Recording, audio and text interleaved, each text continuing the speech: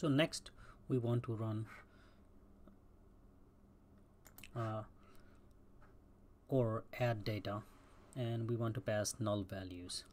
Uh, for example um, we have some information missing. So we can you know uh, write what we have and leave everything blank. So if we since we were using this uh, insert into student and all that so let's try that one more time this time we see that this one's the wrong one. We're gonna copy just one. Just copy the whole thing.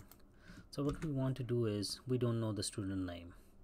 We can assign her a or him or definitely we know it's a male or female um, so we can do uh, but we don't know the name. So we can pass null for the time being or we don't know the date of birth or you know date of joining and uh, what is it? Date of date of joining yes.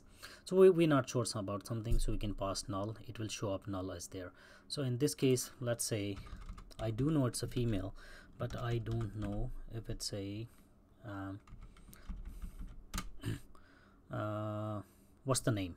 And for passing null I don't have to put it in the single quote. I can just run it like that.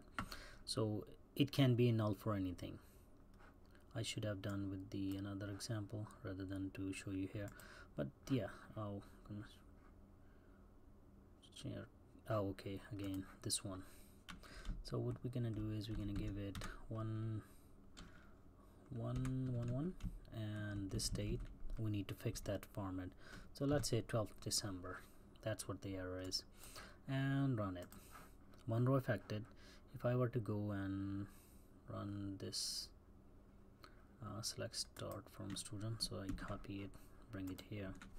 So you will know what's going on. If I am to run this one execute. It should show me the very last one as null. So I don't have the name and I will do it. So let's try another one. This time we get we don't know the date of birth. Let's see what we can do. Can can we do it or not? I'm really not sure I'm doing it with you. So this time we know the person name. For example it's uh, Ali. And we don't we're not sure about the date of birth part. Can we pass null there?